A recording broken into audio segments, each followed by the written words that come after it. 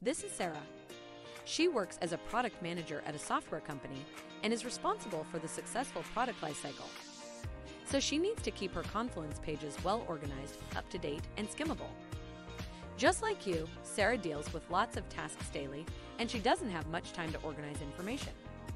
Before Sarah lost her time updating requirement specifications, product strategic plans, customer interview reports, and competitive analysis documents. Then she did research and found an effective tool to easily create interactive Confluence pages. Handy macros for Confluence boosted Sarah's productivity. What can she do with it?